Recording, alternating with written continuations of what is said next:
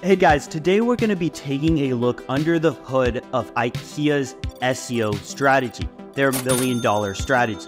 This has allowed them to create 180 plus million monthly organic traffic just from Google alone. This is a famous SEO case study, and I wanted to crack it open for you because I think there are secrets here that you need to be implementing, especially if you own an e commerce website or are managing one especially its SEO.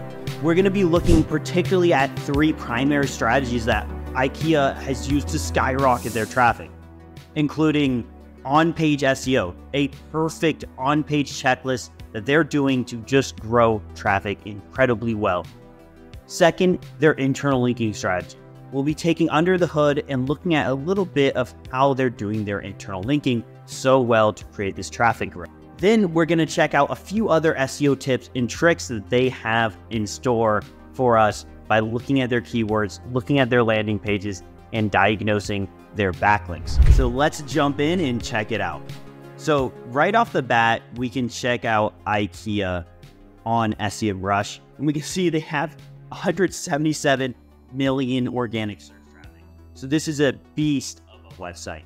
They're also doing some page search. We see they really grown over the pandemic.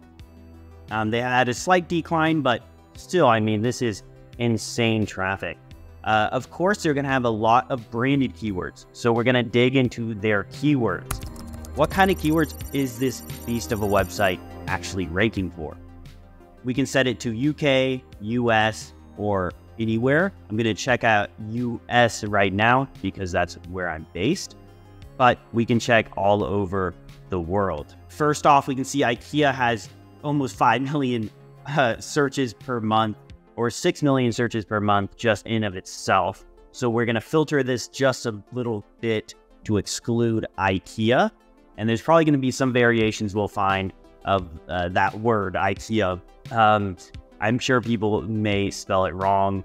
Um, so it looks like some people may accidentally click an M here uh, but we'll see. Already, we see number one ranker, rankings for such general terms as dresser.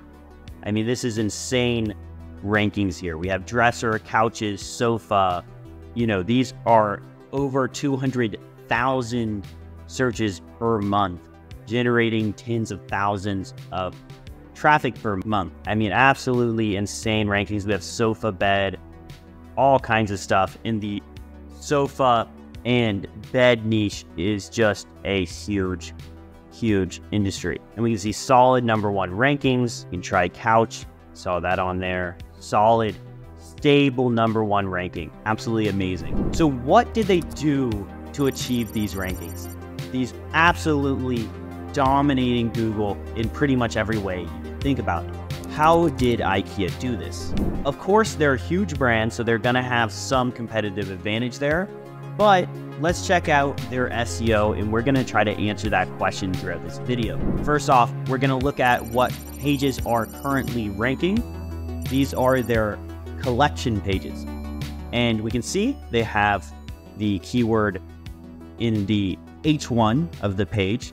If we look up here, they have the keyword in the title of the page. This is the title that actually shows up on Google. So this is what is called the meta title or the SEO title and this is called the meta description. We can see that they have really thought this out. All of them are the correct length. You want this to be between 120 and 132 characters. They have a very nice length for their uh, for their description. The title should be below 60 characters, and so very great little titles as well as H1s. And we can see overall they have some internal links. They have some content. They still have some engaging images with even some unique uh, design work there, um, development work. And then they have their products.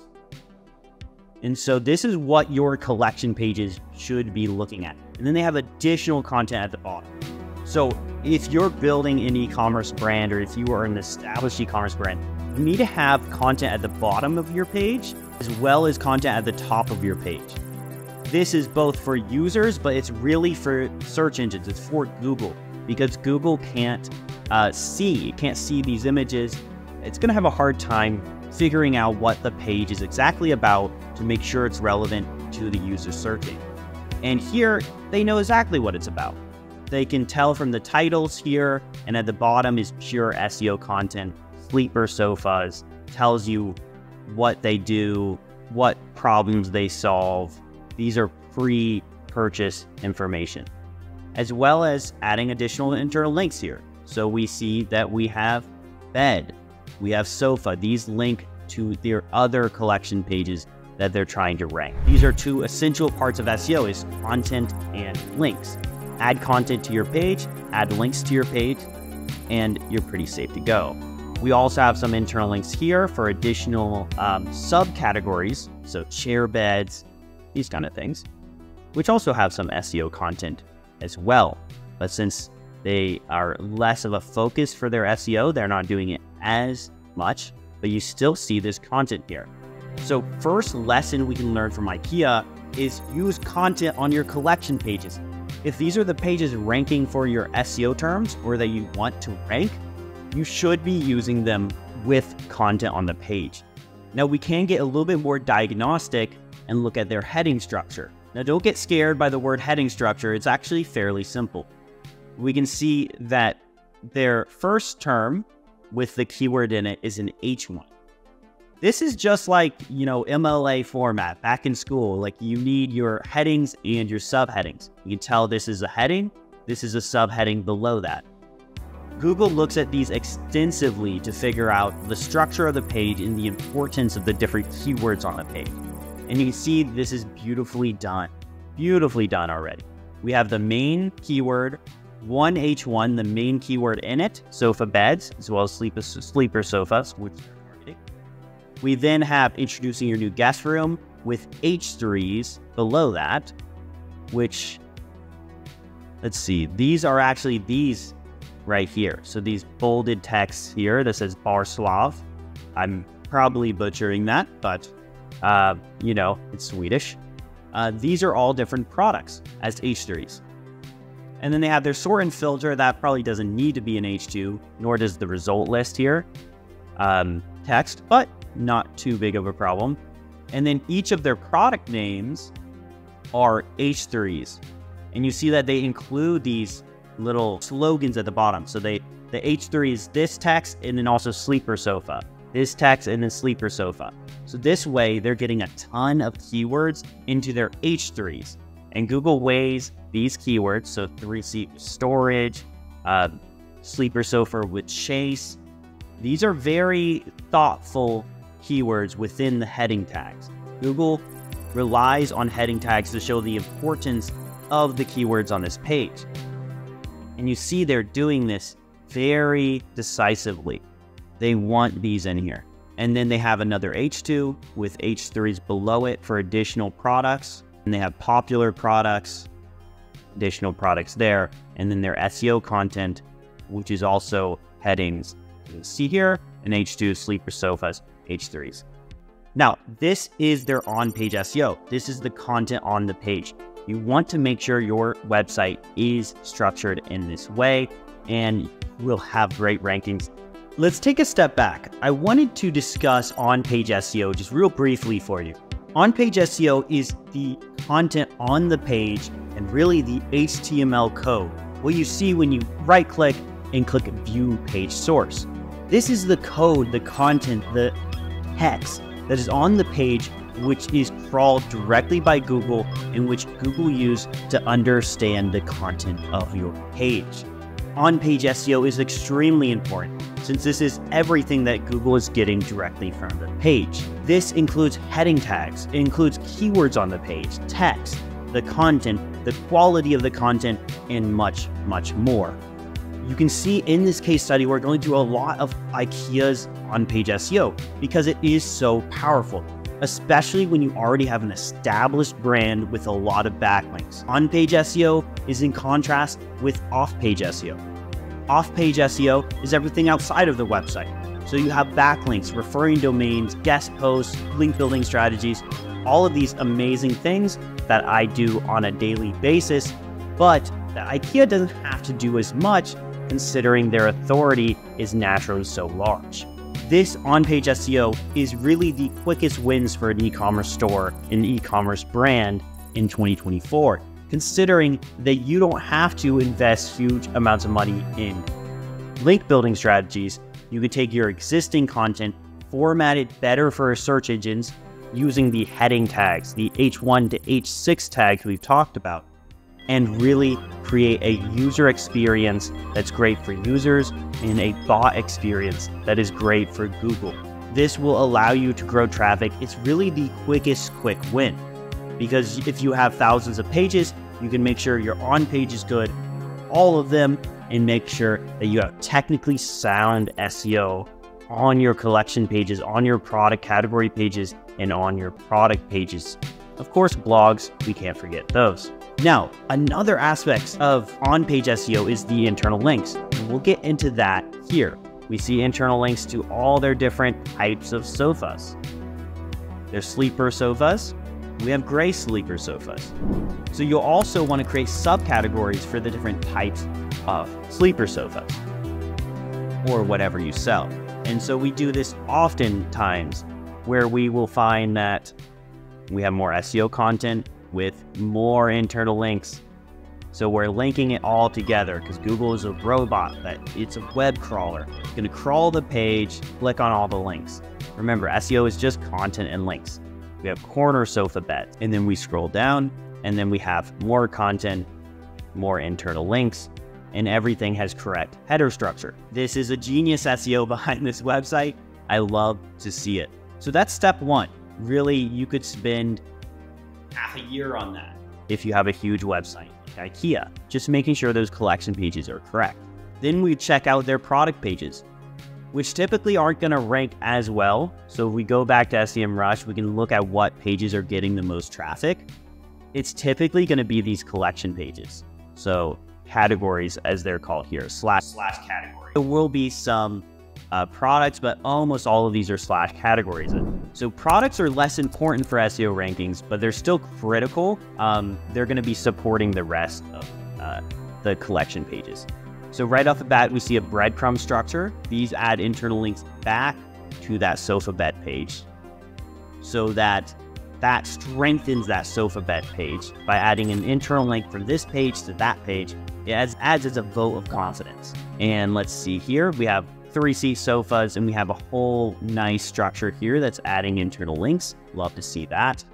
We have a lot of great images, great CRO happening, and then we have product details with a lot of content here, which should be crawlable by Google. Just to confirm that, we can copy this and we can check the view page source, Control F. Ooh, and it looks like it's actually not potentially not crawlable by uh, so Google may find this, it may not. If it's not in the view page source, Google may have a hard time finding it, which should be a reason why all there's actually pretty much very few or or no uh, product categories ranking or product pages ranking there. Um, so that's one potential issue. Let's see if there's any more content here. And so their product pages could use a little bit more unique content. You need to have unique content on your product pages. Google's getting stricter and stricter about this. And those are two big, big points that I want to stress in this overview.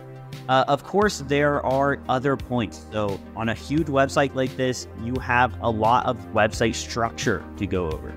So, how are they actually organizing these collections into different, you know, settings? So, baby and kids, you then go to kids, and then you go to toys for kids. These are all internal links. They have SEO content all over the place, as we can see, and they're doing this extremely well. IKEA is doing what is called internal link siloing, or topical clusters is another word for this. What this means is that they are linking together relevant similar pages so that Googlebot can constantly be crawling those relevant pages and establish authority within a certain industry, a certain niche or subcategory. To simplify it, they're linking couches with couches, love seats with couches, similar products, similar product categories to similar product categories. And they're doing this at scale. They have thousands of pages all internal linking together so that when the Google spider comes, it will crawl all their pages in a relevant way. This is becoming extremely powerful, and we've seen thousands of new organic customers just by implementing topical silos and internal linking into an e commerce store. So, if you are an e commerce store and you haven't done siloing like IKEA, and God forbid you haven't done on page like IKEA, then reach out to me or just comment below. We'll take a look at your website and show you how siloing and on page can really be the easiest win for SEO for your company. Uh, but this on page SEO stuff is really, really important. After that, you have backlinks. So all these pages are also getting backlinks, I imagine. So if we look here on the backlinks analytics, we can also tell that these they're probably creating backlinks to these pages or just naturally getting them. And so each one of these sort of collection pages are likely getting backlinks. Let's actually go to that sofa bed or couch, one of these. Go to twin bed frame. And we can actually look at this exact URL to see what kind of links are. Now, backlinks are a vote of confidence from one website to another website. So these are very important for, for establishing rankings on Google. You can see they have uh, 800 backlinks, 140 referring domains. Of course, a lot of these look to be spam, so you have to go through them up. Almost all of them are spam. Let's see what we got here. No, so they don't have many uh, many good backlinks. It looks like they may have a couple backlinks. Um, but most of them are kind of, yeah, this one's broken or will starting to come up, but they're pretty low quality. This is probably nothing that they built. They're probably relying primarily on the on-page SEO. Um, and then their established authority by being IKEA. So since they're IKEA, they get so many links naturally into the website, and they're doing the internal linking correctly, which we looked at briefly. They don't actually need to build too many backlinks. Now, if you're a smaller brand and you're not IKEA, the backlinks become much more important because people aren't you do this on page stuff and you're 90% of the way there. Well, my name is Patrick Rice. Thank you so much for taking your time to watch this video. I hope you learned something from IKEA's strategy. Let me know if you want me to dig deeper into their backlink strategy, into various other stuff that they're doing. Of course, their technical SEO, which might take me a day and a half to really get through. All of this is important pieces of the puzzle for SEO domination. So let me know what you're curious about. What do you want to learn? We're doing videos several times a week or at least once a week. Bear with me as we establish this channel. I want to keep you guys engaged. So let me know. Thank you so much for your time. Like if you did gain any value. Subscribe if you want to see the growth and evolution of this channel.